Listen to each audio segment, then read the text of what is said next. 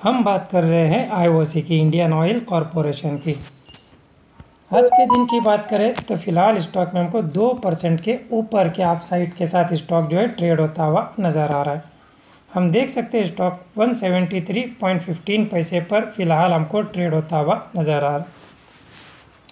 अपने इससे पहले हमने डिस्कस किया था कि 180 के लेवल को ब्रेकआउट करने के लिए स्टॉक को एटलीस्ट 170 के ऊपर सस्टेन होना पड़ेगा। स्टॉक ने 170 के लेवल को ब्रेक डाउन किया और गिरावट देखने के लिए मिली। 154 के लेवल से सपोर्ट लेकर बाउंस बैक हुआ। तो इस बाउंस बैक के साथ हम देख सकते हैं, लगातार हमको तेज़ी दिखाता हुआ 170 के लेवल को ऊपर की ओर ब्रेकआउट करके ऊपर की ओर सस्टेन होता हुआ नज़र आ रहा है।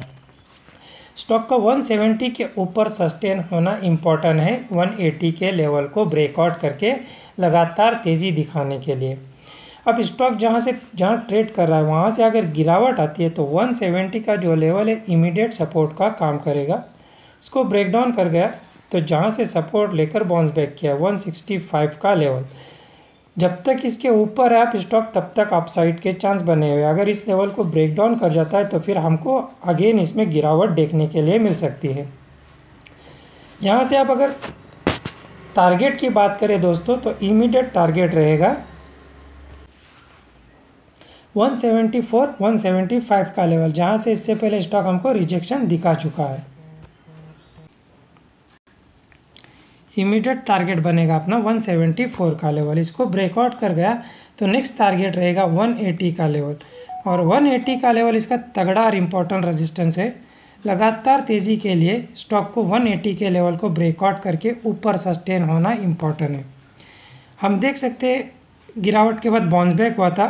ब्रेकआउट नहीं कर पाया। अगेन गिरावट। अगेन जंप आया है और गिरावट के बाद बाउंस बैक हो रहा है।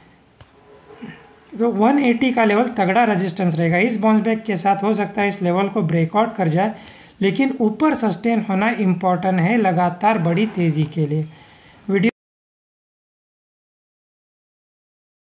अगर आप डिमेट अकाउंट ओपन करना चाहते हो तो डिस्क्रिप्शन में दी गई लिंक से कर सकते हो। एजुकेशन पर्पज़ के लिए कोई बाय सेल या होल्ड की सलाह नहीं है।